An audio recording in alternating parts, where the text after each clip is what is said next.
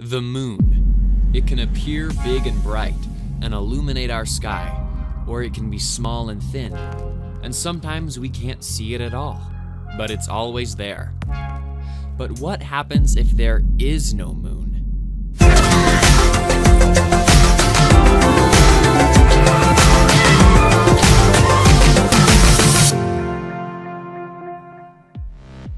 Here are six things that would happen if there was no moon. Nights would be much darker. Venus is the next closest object to the Earth, and the full moon is over 2,000 times brighter to us than Venus is. Our tides would certainly change. If the moon disappeared, we wouldn't be totally out of tidal luck. The sun also stretches and squeezes the Earth, so our surfing opportunities wouldn't be completely eliminated. However, the tides would only be about one third of their current size.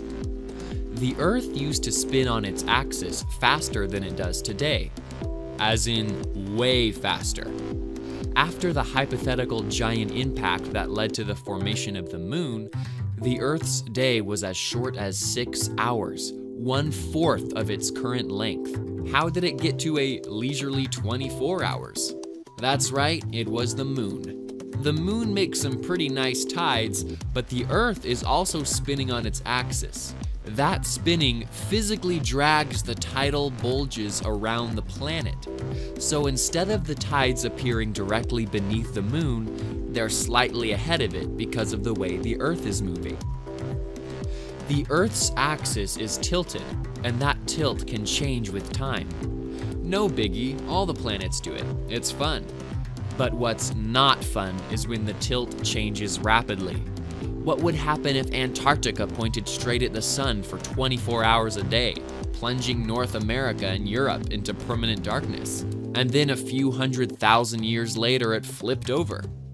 We take the long term regularity of our seasons for granted, and we might have the moon to thank for it. Those kind of crazy wild swings in the axial tilt are due to unlucky interactions with distant objects in the solar system. For instance, let's say that one day in its orbit, the Earth's axis just happens to point away from the Sun, and Jupiter is hanging out in that direction at the same time. And let's say it happens again, and again, and again. Every time Earth's axis and Jupiter line up, it gets a super tiny gravitational pull. At first, it's nothing, but over millions of years, it can add up. Before you know it, the accumulation of tugs has flipped the Earth over like a pancake. We'd certainly never see any solar or lunar eclipses anymore, but maybe that one is obvious. Ever wonder how the moon got all those huge craters? It's a veritable punching bag for big old asteroids, stopping some that might otherwise make their way down here. Without a protector, we'd be in the line of fire for more asteroids than we are now, which, as any dinosaur will tell you, could be very, very bad. Tides, days, seasons, asteroids. Next time you look up at the moon, think of all the differences it's making for you. It's shining brightly in more ways than one. Thanks for watching What Happens If. For more hypothetical questions answered irresponsibly, subscribe to this channel.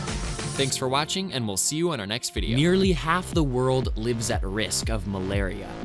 So depending on where you live, mosquitoes may range from an itch-inducing annoyance to a constant threat.